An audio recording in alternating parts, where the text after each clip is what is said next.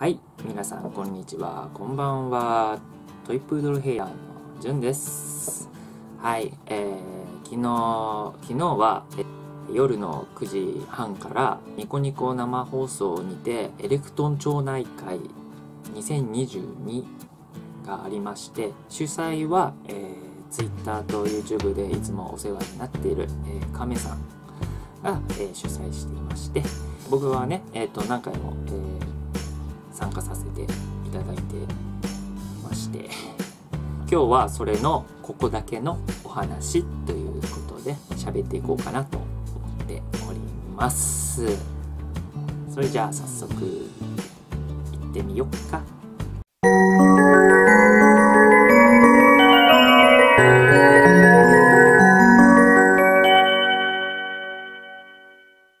はい。じゃあえー早速ねお話ししたいと思います。エレクトン町内会2022年の動画皆さんは見ていただけたでしょうか？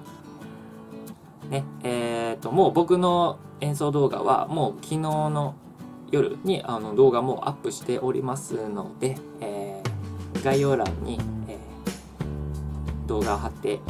ますので、えー僕が、えー参加した、えー曲は「Over the Rainbow」っていう曲「虹の彼方」っていう曲を気だるいクラブジャズっぽい ヒップホップっぽい、えー曲にアレンジした感じで、えー参加させていただきました。これは急遽ね曲を変更して急ピッチに急いで曲をアレンジして音音色とかドラドラムスのパターンとかを打ち込みをして動画撮影して編集してすぐ出したって感じなんですよ。あの締め切りを僕は初めてなんですけど締め切り日を本当に申し訳なくて亀さんには申し訳なくて延長させていただいてで約、まあ、時間で表す3日ぐらいで作ったんですよ。ね反省しております。となんでこうなっちゃったの？っていうことで説明一番それが説明したいんですよ。当初はねまあある曲をもう完成してたんですよ。曲がもうできてまして。でもすごいスペシャルゲストだらけですよ。ドラムベースギター。でで僕はエレクトーンとサックス音とであの動画データを忙しいかと思いますが提出してくださいみたいなのをねこう裏締め切りじゃないけどこう早めに早めにね準備をしていたんですけどいつもあの僕の楽曲とかにギタリストさんがいるんですけどねギタリストさんに、まあ、あの音はいただいたんですよ。あのね、バッキングとかギターソロとかメインテーマの、まあ、ギター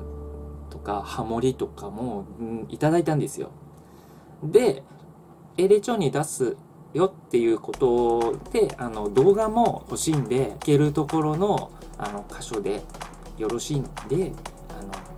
動画データいただけませんかっていうのはままああの事前にね頼んだんですよ。があのギタリストさんがで音データをいただいてなんかこう気が抜いちゃったみたいなんですけれど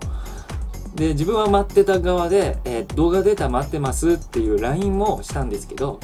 で「はい OK です」って LINE もすぐ返ってきて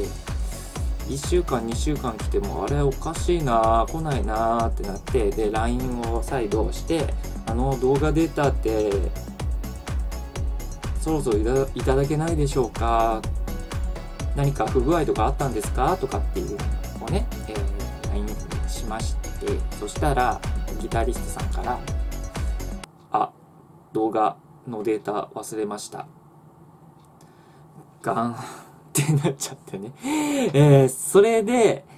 あ動画データはあのー10月の29日には提出できます。つってそれはあの延長してた締め切り日最終日だったのね。いや、えー最終日に出してっていういやそれはええー、と思って。ででもすごい迷いました。その時自分僕が。いや別におギタリストさんに怒ってるわけではないんですけれどもね。そういうわかりましたこうしようと思ってこの曲は来年度に 動画データとして使いたいので、あの、締め切りとかは、あのー、もう一切ありませんので、ね、えー、完成した時は来年になるので、えー、その時はご了承ください。えー、なので、お手数ですが、えっ、ー、と、動画、動画データください。ということでね。まあ、そんな感じで、まあ、相手もね、すみませんでしたとこを謝ってたんで、全然、僕としては全然、全然、あの、全然お、おこではなかったし、せっかくここまでできた曲だし、動画データも作ったし、僕の動画データもこれから作るっていうところで、おっとっとっとっとっとっていうね、こういう事件があっちゃったんで